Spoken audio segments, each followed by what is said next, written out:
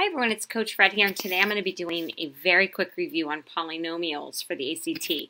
So again, remember this is not me teaching you how to do it, it's just trying to get your mind around what you've learned at some point.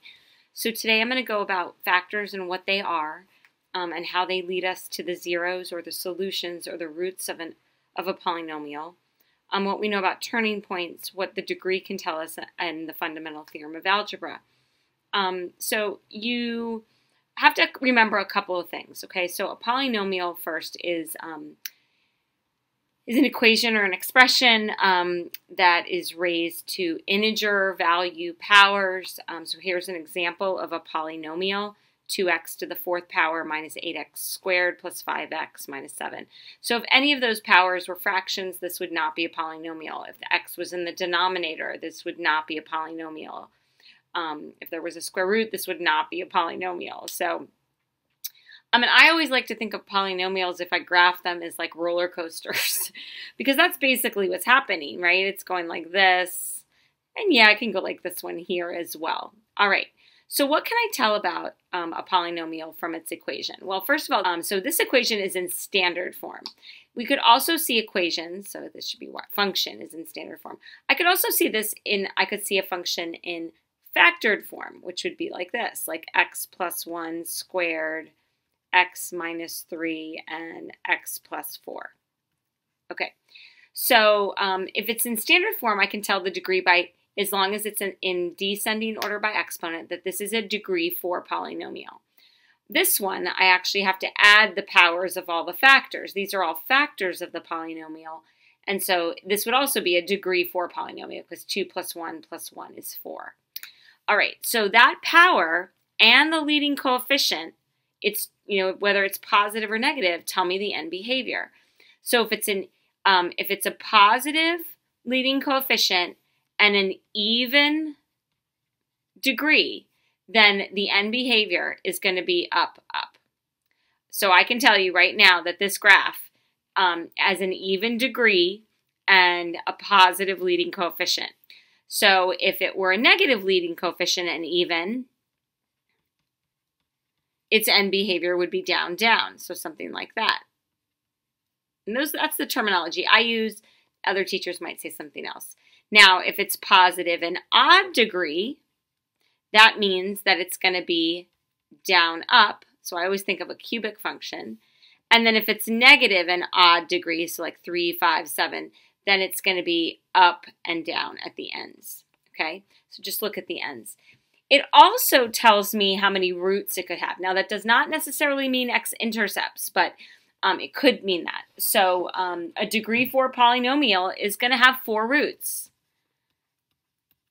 Okay, um, which could mean four x-intercepts. It could mean two x-intercepts and two conjugate roots, or I mean two imaginary roots, or it could have all imaginary roots. So that's what we can learn from, um, from our polynomial equation. Now, if it's in factored form, we can also tell the, the x-intercepts, or the, the um, in this case, all of the roots. So, for example, this x-intercept would be negative 1, 0. This, and there'd be, it would be a double root because it's a degree of 2. This one's um, x-intercept would be 3, 0, and this one's would be negative 4, 0. And I actually know even a little bit more. Because that's a degree 2, I know that at this x-intercept, the graph is going to bounce. So it means like this. So if I'm at negative 1 and it gets to negative 1, it's going to bounce back up like that. So that's what I should have learned in Algebra 2 about a polynomial from its equation. All right, so what can I tell about this polynomial from the graph? Well, I can see that the, the end behavior is down, down. So I know that it's an even degree and the leading coefficient is negative. So I know that. I can see that there are one, two, three x-intercepts. And since I know it has to be an even degree, um, actually, this is a double root. So I know it's an even degree, so this is actually going to be four x-intercepts. Um, so we're going to have um, x plus 1 squared, x minus 2, and x minus 4. So I know that I've got all real roots, okay? Um, I can see an x-intercept of, or y-intercept of my graph, so I know my y-intercept is negative 4. So there's a lot I can tell about from the graph, okay? Um, all right, let's keep going. When we learned about polynomials, we also learned about polynomial long division or synthetic division. So I looked at a couple of examples here, here, and I used synthetic division. Um, so what does this tell me? I had I plugged in a root of two, a zero of two in using synthetic division, and I got a remainder of zero. That tells me that x minus two, right, um, the opposite of it, um, is its factor, okay? So this is the root, and this is a factor of the polynomial. I also know that when these other numbers become my depressed polynomial, the remaining factor. Now, if I put in a number, say, in this case, negative 3, and I don't get a remainder 0, we should know that the point negative 3, negative 93 is on the polynomial. So that's important for you to know. Um, and it's also important to know that the a way I could write this would be f at 2 equals 0 and f at negative 3 equals negative 93. So that's actually just kind of helpful to know.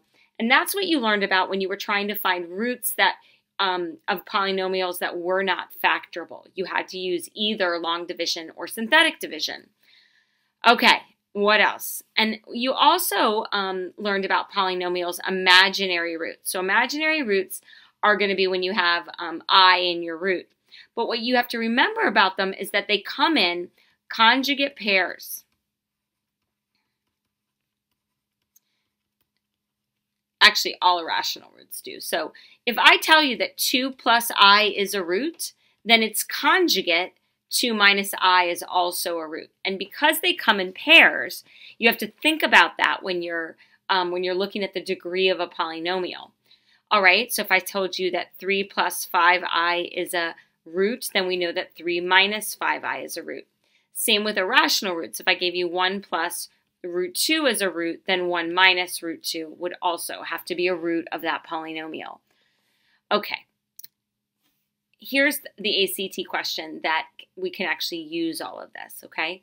So it says, what is the minimum degree possible for the polynomial function whose graph is shown in the standard coordinate plane below? Okay, so it's number 60, so it's considered pretty tough. It's a difficult problem. All right, I look carefully at the end behavior. The end behavior is going down, down.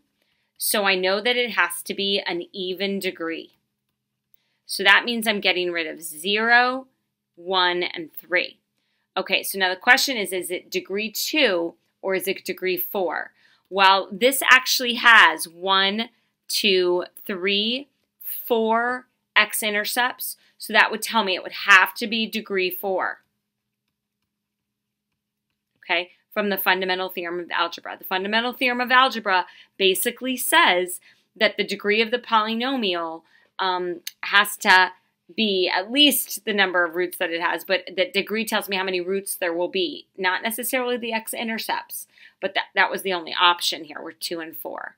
Um, we also know a degree 2 polynomial is a parabola. So it either should have looked like that or like that. This has actually one, two, three turning points. So that meant um, the turning points comes from the degree. So um, the number of turning points is always n minus 1 is the maximum um, based on the degree a degree of n. So because this had 3, I knew that 4 would be a good choice, and it was one of my options. So my answer here would be K. I know I kind of went through that very casually and just quickly. If this is something that you really need help with, reviewing polynomials, then just let leave me a note and I, am happy to make some more videos going over each individual topic because I know I kind of rushed through it. It was really just to get you thinking about what you remember from a polynomial. All right, hopefully that was helpful. Have a great day.